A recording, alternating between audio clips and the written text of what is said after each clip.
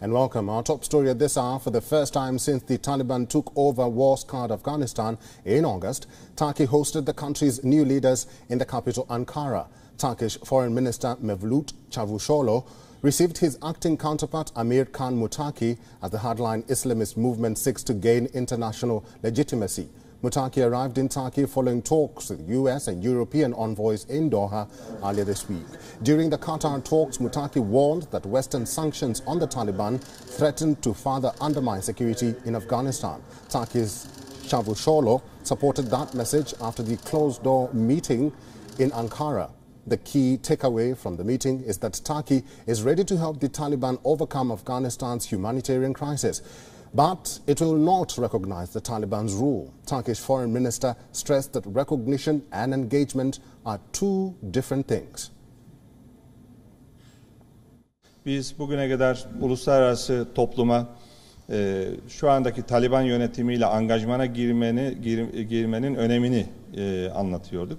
Ve şu anda uluslararası toplum taraflı tarafsız herkes zaten bu pozisyonda. Tanıma farklı, angajmana girmek farklı bir şey. Turkey has been working with Qatar to reopen the airport in Kabul for international travel. Çavuşoğlu said the two sides discussed flights from Kabul's airport after the Taliban requested Ankara's help on the matter.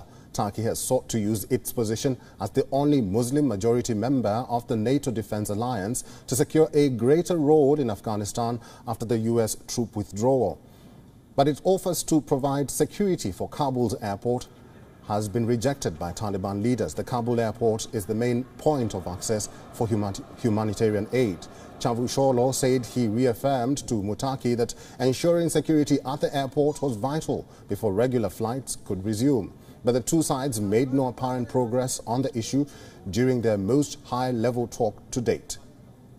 Özellikle düzenli uçuşların e, başlayabilmesi için güvenlik konusundaki e, beklentilerimizi yani sadece bizim değil, tüm uluslararası e, sivil havacılık camiasının beklentilerini bir kere daha kendilerine e, bugün anlattık. The Taliban have brought back public hangings and other brutal tactics.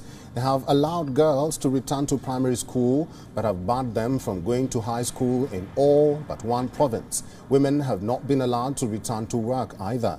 The international community has condemned some Taliban actions since their blitz takeover. The Turkish foreign minister urged the Taliban to give girls open access to education and allow women to return to their jobs. Muttaqi issued no immediate comments after the talks.